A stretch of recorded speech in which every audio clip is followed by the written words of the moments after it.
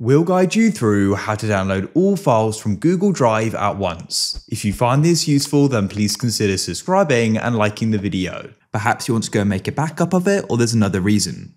So we can go and head to Drive now. I'll click on the apps button in the top right of Google and click on Drive. You can see I've got a lot of files here, so downloading it all would go and take a long time, so let's get into this.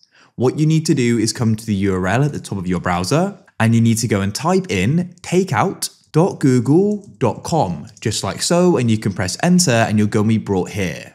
Now, what we can do is go and choose what you want to go and export. It's really simple. Press deselect all as we only need drive, and then scroll down and you can go and find your drive just here and select it, and all drive data will be included. Then you can scroll to the bottom and you can press next step.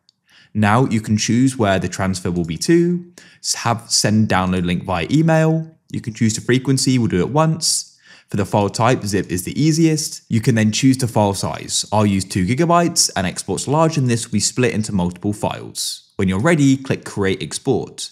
Now what we need to do is go and wait. Here's what the email will go and look like. This is from one I did before, so you can click on download your files and download them to your computer.